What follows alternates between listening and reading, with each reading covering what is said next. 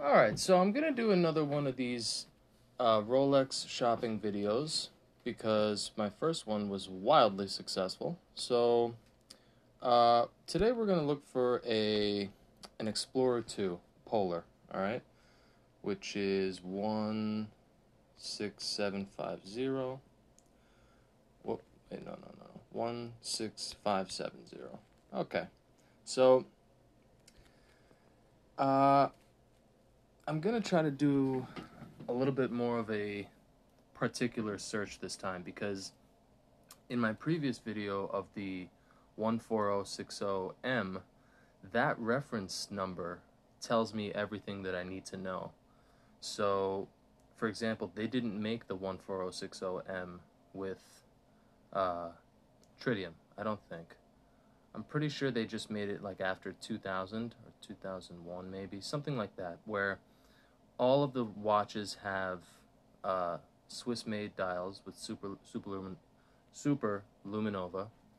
Uh, they all none of them have solid end link bracelets. They all have hollow end link bracelets, um, and they all have holes cases.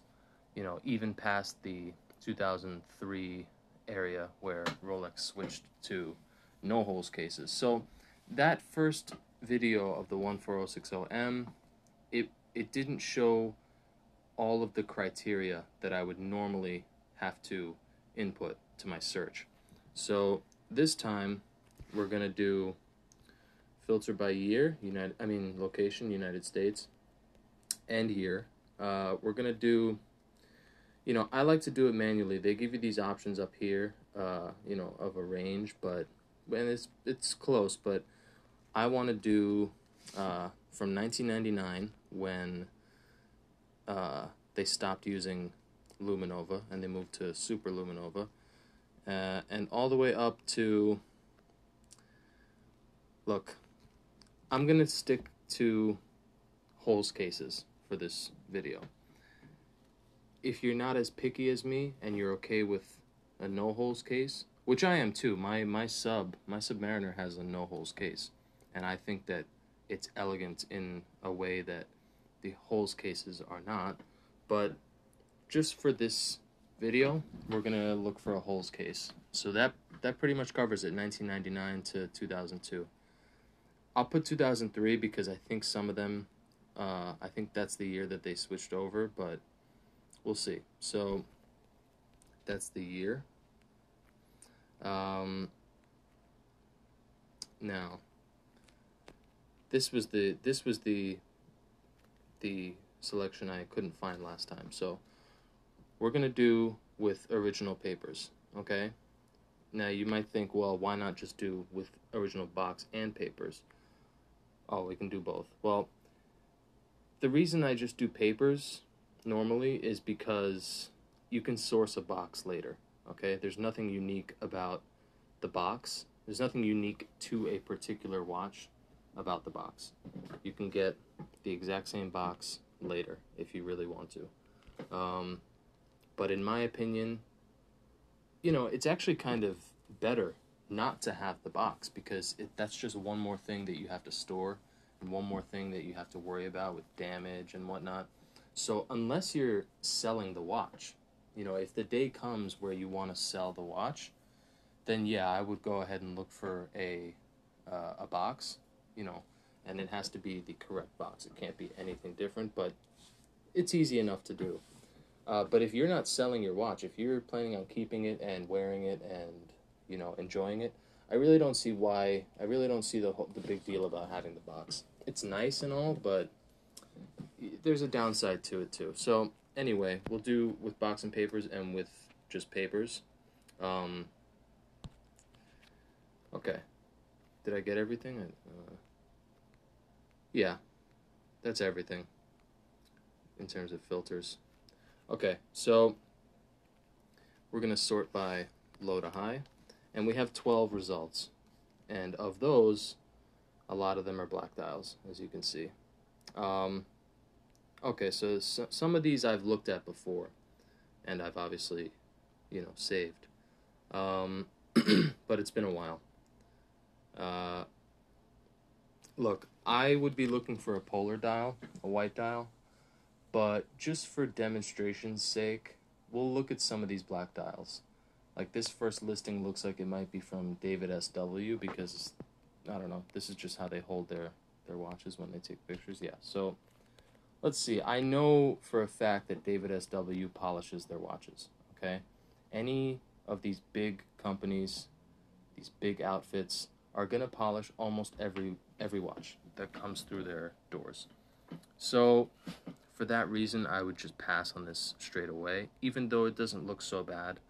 Um, the lugs, they don't have pronounced chamfers, but you know, for your average person, it's it's a perfectly fine watch. But we're not average people. We look for, you know, we're very particular about what we want. Um, yeah, yeah. Look at you know, the the coronet is very dull. It's obviously been polished, but it, you know, and I'm downplaying it because when I had my GMT, my 16710 Pepsi, I loved that watch, okay? But the one thing that bugged me to hell and I couldn't sleep at night because of it was the coronet. You know, I can get past the watch being polished, you know, because in my mind I know that one day I can give it to Rolex to to fix it up and give it the the Rolex polish but there's just something about a whittled down coronet on the clasp that just irks me. It just kills me, you know. Um, so we're gonna we're gonna skip that. Let's just look at these polar dials, to be honest with you, because if we're really going for what we want, uh, it's the polar dials. Now, before I click on this one, well, click on it. I I know this watch. I was gonna buy this watch, okay. As you can see, it's unpolished, and it, it really is unpolished with papers, and it's beautiful. Um, unpolished, it's scratched up. I mean, there's there's wear everywhere on the bezel, on the case, on the bracelet, but it is um, it's gorgeous. You know, I would just keep the watch as is. I wouldn't get it polished, but it's nice knowing that I can bring a, a virginal unpolished piece to Rolex to give it their polish. Okay? Now, what I wanted to say about this about this watch and about this search in general is if you search on Chrono 24 for long enough, you'll start to find sellers that you really like. So I a second ago I just talked about David SW and I think I don't think there's anything necessarily wrong with them for 90% of the watch buying public out there, but for me with my stricter criteria, they're not the seller for me, you know?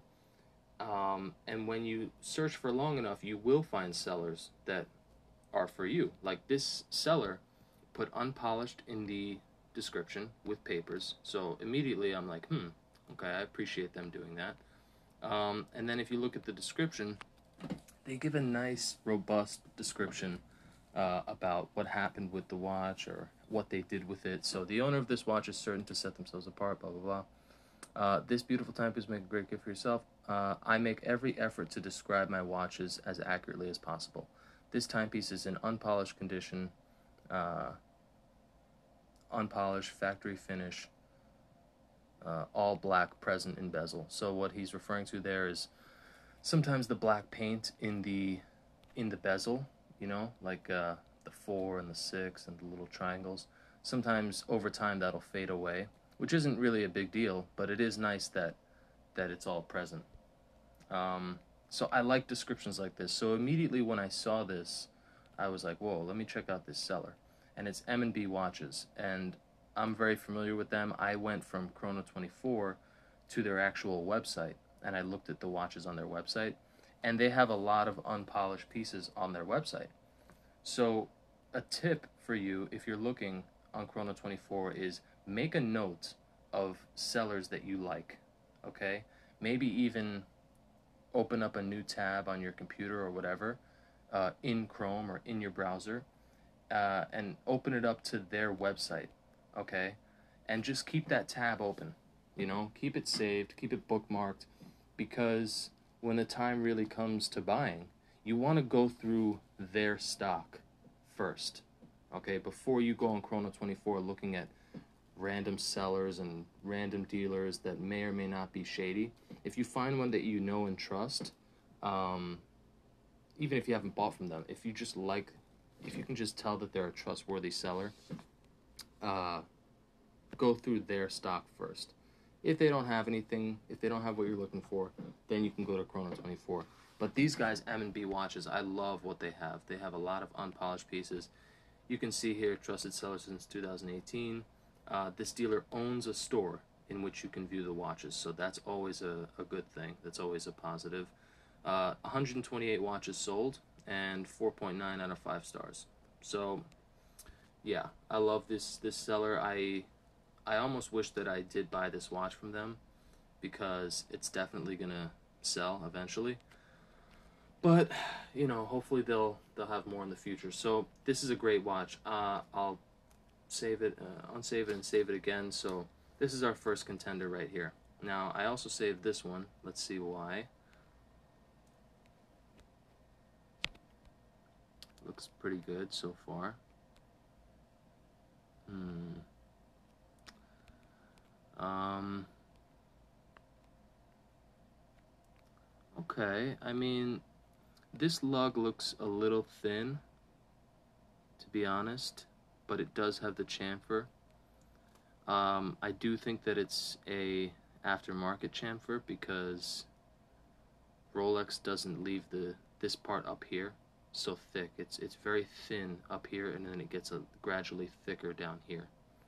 This looks like it's even all the way all the way through. Uh, same with this side. So I think this was done by a third party. You know, Yeah, I mean, the coronet looks pretty good, but it just doesn't have that that luster that an unpolished piece has. Yeah, it's a little bit, you know, a little bit dull, a little bit, uh, you know, milk toast. The bracelet looks good. That brushing looks nice, I must say. The lines, if you look at the grain of the brushing, what I've noticed with some polished pieces is they will get this grain, they will achieve this grain, but it'll be slanted, like the lines will be going this way or this way. Not so dramatic as what I'm pointing out, but if you really look closely, the lines of the polishing is not parallel to the lines of the actual uh, link. You know, so that's something to look, look out for. And this watch does have parallel lines, which is nice. Um, that being said, I don't know if it was done by Rolex. Uh, do they say anything about it? Nashville. Okay, in good finish it comes with Swiss only dial, box papers warranty. The case is thick with noticeable chamfers. There is some light wear present. I don't know. I mean, whenever they say that the case is in really good condition, but they don't say whether it's been polished or not, that's kind of a red flag for me because, yeah, it, you know, if you're polishing the watch, it better be in good condition, you know? Like, it wouldn't have, it wouldn't be in bad condition with a bunch of wear if you polished it. Um, and we're looking for, we're looking for unpolished pieces, so I, I don't like it, you know, it's okay, but it's not what I'm looking for. So unfavorite that. On to the next one. Yeah, straight away I don't like it. Yeah, that's it's pretty bad. It's been polished pretty badly. Yeah, on to, on to the next one. I just I don't like the whole listing. Um. Okay. Let's see. Yeah, this has also been polished badly. Which is such a shame, you know. It's a shame because I feel kind of bad for the watch itself, but I also feel bad for the buyer who buys this eventually because they may not realize what they're getting.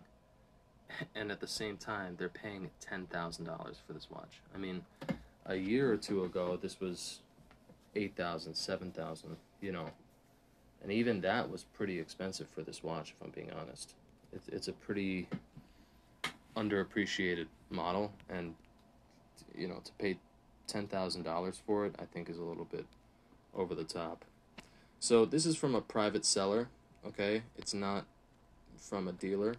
So just unless I'm blown away by the description that they give and if they give a story of how they got it and why they don't want it, fine, that's one thing. If you can kind of glean the enthusiasm from what they say in their listing, then maybe it's okay. But otherwise, if they give just a little, let's see with this guy.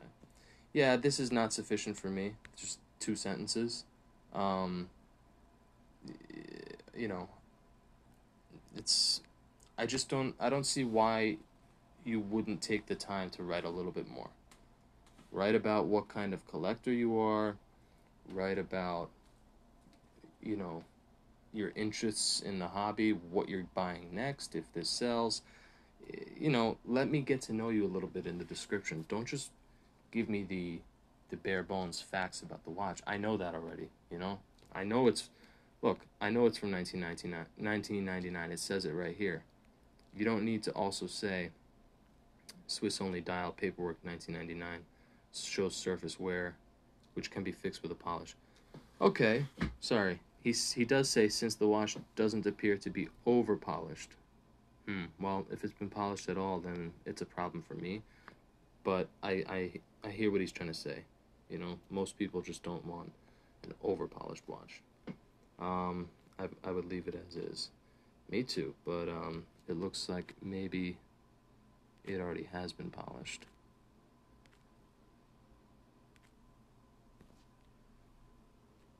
Um, yeah, he's right. It's not over polished, but it definitely is polished. He's not really giving a good look at the at the lugs. You know, we've gotten a few of these from the top shots. Um, the best one is this one, and from what I can tell, this is round, not sharp, and and it's quite thin. So it, it's significantly thinner than this one, right? I mean, it just looks weird too. It looks like the shape is off. No? Yeah, no, I mean, best of luck to this guy, but this is not the unpolished piece that we're looking for. Alright, let's see why I favorited this one. This is from Swiss Watch Expo. If you watched my last video, you'll know that I don't like them. Um, because look at this. I mean, this looks like a stock photo, right? This looks like it was professionally touched up. It's just so white here. It's so crispy. Look at how crispy everything is. Look at how, you know, the light here reflects. It looks like a commercial, like a poster you'd see on, on the subway for, you know, a brand new watch. And it's probably not a, a brand new watch. It's probably used, which is fine, but well, look, if the coronet looks like that, then maybe I stand corrected because that is very sharp, and so is the case. Now, it's a no holes case, but you know, I would, uh, if it's truly unpolished and if it's basically new old stock, if, if what I'm seeing is correct, then it would be worth considering this piece. You know, if you want to hold out for a holes case, then fine. But if this is unpolished with papers, I think it's too good to pass up. It's a little expensive. It's over 10000 but let's see what they say. Just to confirm that it is. Yeah, Swiss Watch Expo.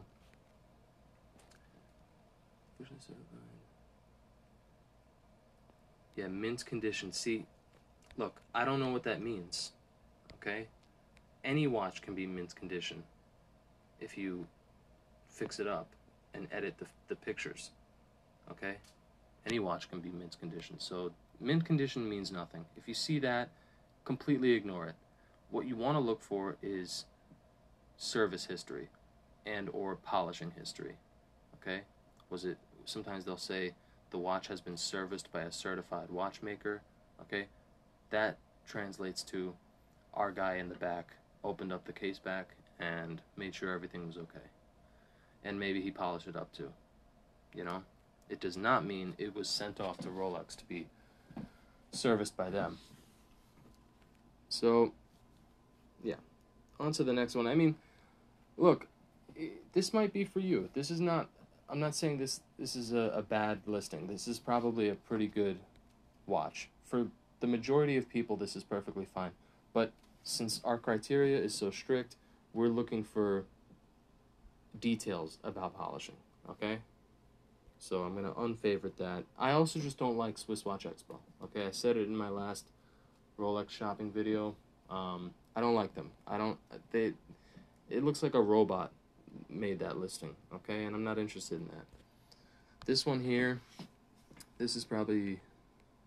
Oh. Okay. In my last video, I mentioned Seawave Diamonds. I bought my GMT Master 2 16710 from them.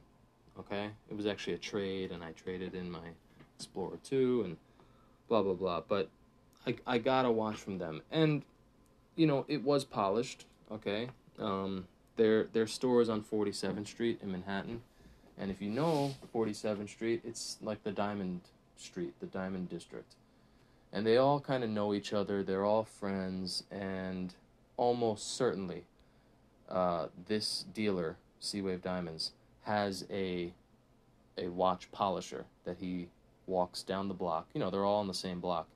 He walks down the block, gives this polisher all of his watches, and the polisher charges maybe a hundred bucks per watch or whatever their arrangement is. And Seawave Diamonds gets back these, you know, quote unquote mint mint condition or minty watches, um, when in reality they're they're polished. But look, otherwise I do think that I like this guy. I think he's a very trustworthy guy. So if you're not as particular as me about polishing, then they're a great place to buy uh, a watch from. Especially if you're in New York, I would go see them in store and see what they have, and talk to the guy. But you know, just for me, I know that they polish, and even if I didn't know, I mean, this is this is not good in my opinion. This is polished down to to nothing. And look, this is a perfect example of what I was talking about with the grain. You see how the grain is not perfectly parallel to the to the uh, link? Like look at it, it kind of goes this way, right? Kind of drifts off to the left. This one is maybe a little straighter, but then, you know, over here there's it's just it's not parallel. And that's clear indication to me that it was done by a third party. And to be honest with you, not very well. The guy who polished this watch is probably polishing watches all day long.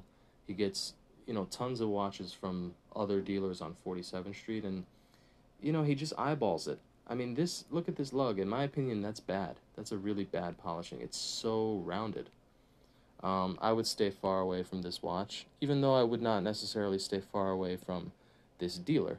He knows about polishing. If you talk to him and you say, "Look, I'm looking for an unpolished piece. He does have unpolished pieces. He knows the value of an unpolished piece, um, but at the same time, he's a he's a watch dealer in Manhattan, and the vast majority of his clients are people who don't really don't really care so much about polishing, but we do. So that's why I traded that GMT. It I couldn't get over it. It had that kind of uneven grain polishing uh, or you know brushing on the on the bracelet. The coronet was almost look this is it wasn't this bad but it was reminiscent of this for sure. I mean look at that. That's awful right? That looks like that looks like a shadow you know? That's the ghost of the coronet that used to be on this watch that used to be on this clasp. I mean that that's that's bad. That's really bad. They you know if i didn't know and kind of like the guy i would say that he should be ashamed of himself but Ugh, I, I hate it. I hate it. And then they want to charge ten ten thousand dollars, ten almost eleven thousand dollars for it. It's just it's not right in my opinion. Mm, yeah. And last, but maybe not least, is this. It's reserved. Similar price, ten thousand seven hundred. Uh, it's by a private seller.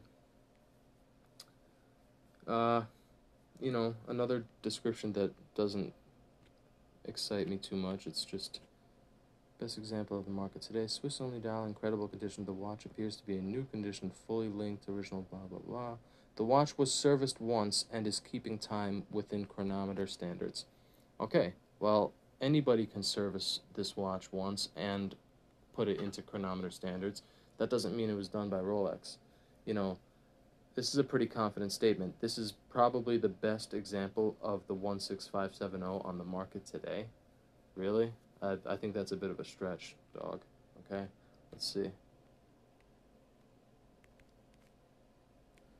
Well, yeah, look, I mean, I stand corrected. It's beautiful. okay? The coronet is fantastic. Everything is great. Yeah, yeah, yeah. No, no, look, this is a phenomenal watch. I would love to buy this watch. Look, this is how this is how the lug should look, okay? Sharp, squared off on the bottom from this angle. The chamfers, you see, you can't see the chamfers up here, but slowly they appear. Here's the chamfer. Comes out, it flares out towards the end. This is a bad angle with the shadow, so you can't really see, but um, yeah, and this is how the grain of the lug should look. It's kind of a a uh, circular grain that goes inward towards here It's beautiful. The, the bezel has no scratches on it. Um,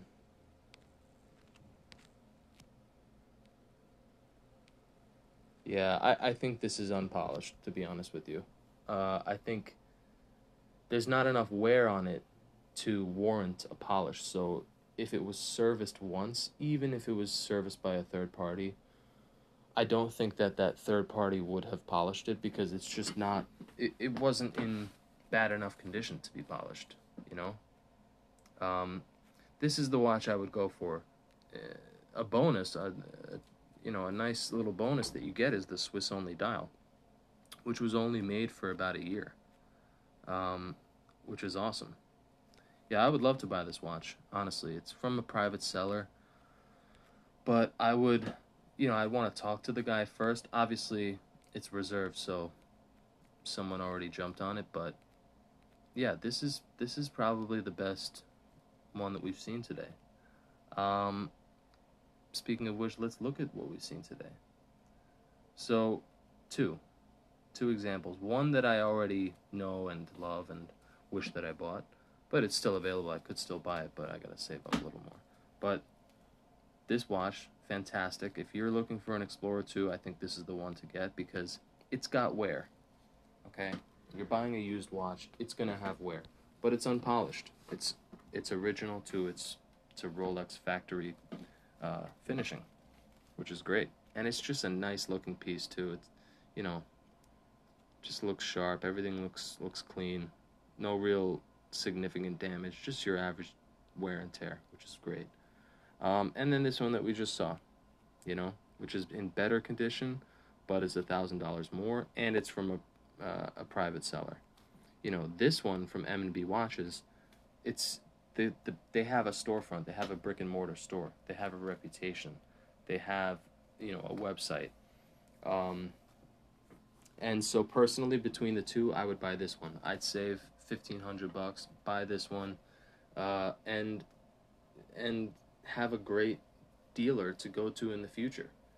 Um, so yeah, hopefully that helped a little bit, or at least it was a little bit entertaining. You know, I love doing this stuff. If you if you're like me, you know, you love looking through Chrono, Chrono 24, even if you're not actually interested in buying a watch. You know, we just we go on Chrono 24 and we look around, and it's just something we do. So hopefully you enjoyed doing it with me today. No homo. All right, peace out.